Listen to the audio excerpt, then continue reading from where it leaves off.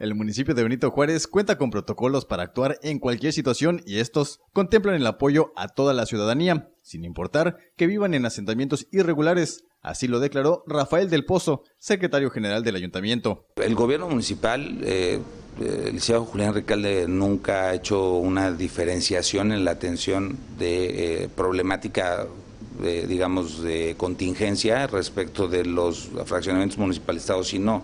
Si los ciudadanos o los benitojuarenses son benitojuarenses independientemente de la condición jurídica que tenga el fraccionamiento donde vivan. ¿no? Nosotros tenemos que atender a la ciudadanía este, cualquiera que sea la situación del fraccionamiento. ¿no? Entonces, claro, hay, dependiendo, no es lo mismo un lugar que tiene, por ejemplo, eh, drenaje o alcantarillado en óptimas condiciones, que tiene de absorción, a un lugar que no tiene incluso pavimentación. ¿no? Los riesgos son no, no solamente de inundación, sino que después se vuelven riesgos sanitarios.